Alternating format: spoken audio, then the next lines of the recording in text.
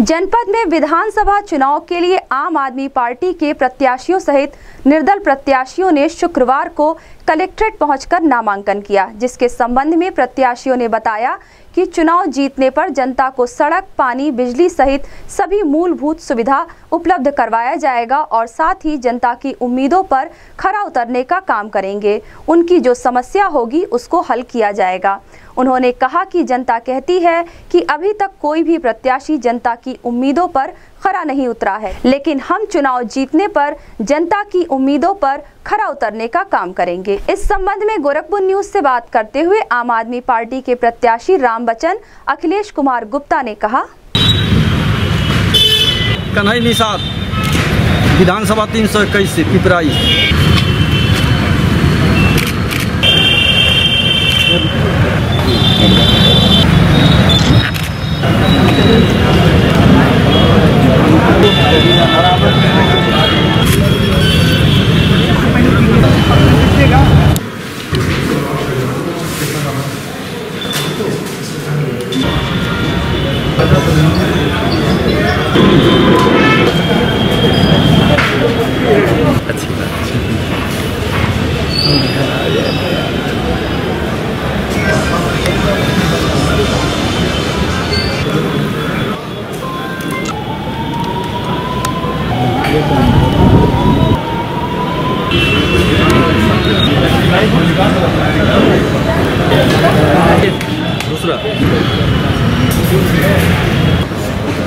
色線香に。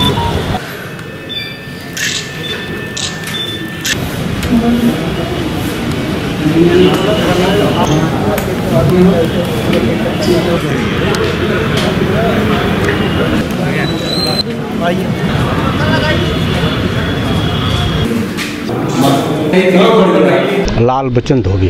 गाँव विधानसभा नामांकन के क्या प्राथमिकताएँ रहेंगी जनता के? अगर चुनाव जीतते हैं तो। भ्रष्टाचार मुक्त प्रशासन चाहिए शासन चाहिए।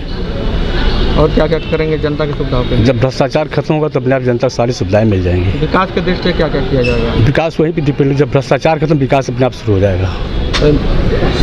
चुनाव जीते होंगे? और हमारी पार्टी का जो लक्ष्य है स्वास्थ्य शिक्षा और जनमा जनता की मूलभूत जो आवश्यकता है उसके प्रति समर्पित भाव से काम करना। अखिलेश कुमार गुप्ता। हमने नामांकन किया है। जी। किन मुद्दों पर जनता के बीच मूलभूत सुविधाओं पर?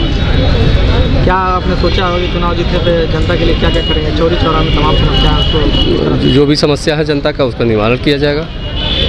जैसे बिजली सड़क पानी जो भी है उसका चूँकि चौदह चौदह के लोग कहते हैं कि आज तक तो कोई खरा नहीं उतरा। अगर आम आदमी पार्टी चुनाव जीतती है तो हम लोग खरा उतरेंगे। युवाओं को क्या संदेश देना चाहेंगे? युवाओं को संदेश देना है कि इस साल जातिवाद की राजनीति छोड़ करके आम आदमी पार्टी के साथ आए।